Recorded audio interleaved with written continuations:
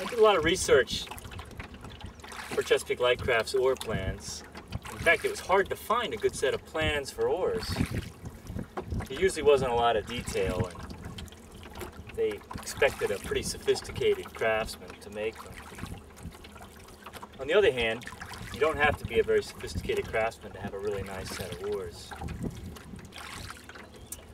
There are lots of reasons to build your own oars. Store-bought oars are expensive. A lot of them are pretty clunky too, like clubs. They're made on lathes, mass-produced. Yeah, mail order oars are getting expensive to ship these days. I picked up pieces of oar design from lots of different designers, including Pete Culler and Phil Bolger. But these are mostly my own experiences over the last 30 years of small rowing boats and fixed seat boats. I like blades that are average or a little bit smaller than average, and there are lots of reasons for this. First off, they're just lighter, so that means less for me to have to pick up with each stroke. Second of all, smaller blades are easier to use in choppy conditions, whether you're feathering the oars or not feathering the oars. They're also more resistant to flutter.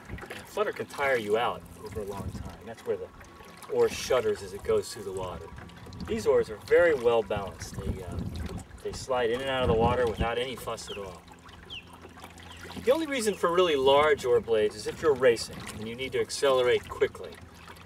Once you're up to speed though, and just cruising along at 50% pressure like this, which is how most of us row, these oar blade sizes are perfect.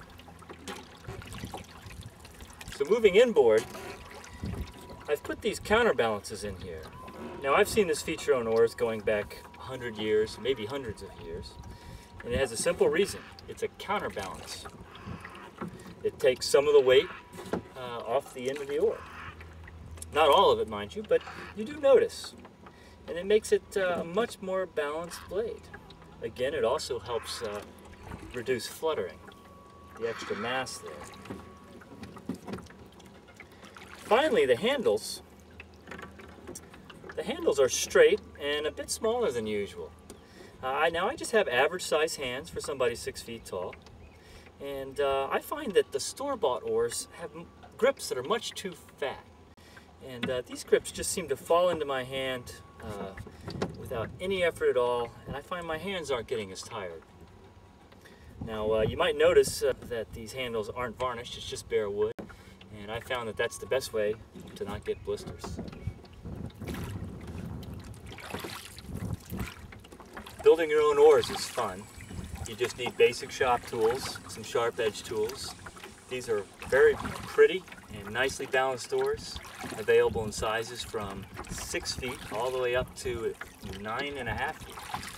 And perfect for fixed seat rowing boats like this one. I'm John Harris.